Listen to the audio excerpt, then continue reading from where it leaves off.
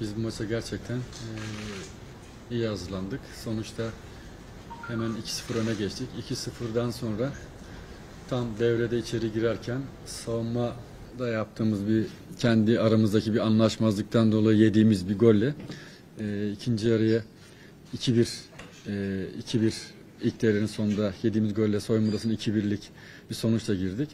İkinci yarıya gene iyi başladık. 3-1 bulduk. 3-1'den sonra gene e, kolay goller yedik. Bu kolay goller bu kadar biz yememeliyiz. Sonuçta biz şampiyonluğa oynayan bir takımız. Sonuçta e, oyunun sonuna doğru biraz ortam da gerildi. E, 4-3 kazanmasını bildik. 3 puan aldık. Biraz hasarlı oldu bu 3 puan.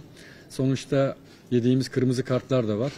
E, bu kadar e, basit kırmızı kart ne olduğunu yani nasıl nasıl bir diyaloglar geçti hakemle oyuncularımız arasında tam net bilmiyoruz. Bunları da oyuncularımıza konuşup ona göre bir değerlendirme yapacağız tabii ki.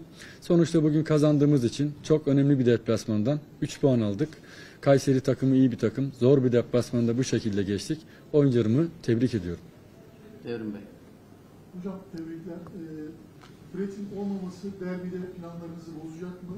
Ee, bir de maçla ilgili iki tane arka arkaya derbi maç var.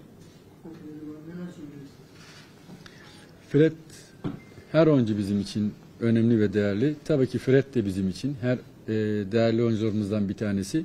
Olmaması tabii ki e, bizi üzecek. Sonuçta e, Fred olmuyor diye de onun yerini dolduracak e, takım içerisinden başka bir çözüm bulacağız kendimizce.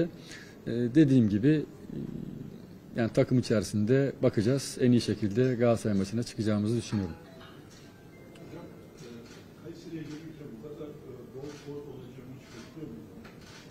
Aslında bu kadar gollü değil. Biz 2-0'dan sonra maçı 3-4 yapıp çok rahat bitirebilirdik. Veya 3-1 olduktan sonra da çok rahat maçı e, kendi elimizde tutup e, daha farklı da kazanabilirdik. Veya kazanamasak en kötü bu şekilde oyunu tutarak maçı bitirebilirdik. Dediğim gibi birazcık e, oyunun sonuna doğru ortam gerildi. Gerildikten sonra da böyle her iki takım da basit hatalar yaptı ve oyun genişledi. Maç bu, bu şekilde bitti yani. Metin Bey. Hocam e, bugün İrfan Can'ın dinlendirdiğimiz yerine Cengiz Ünder formu giydi. Oldukça başarılı performans sergiledi.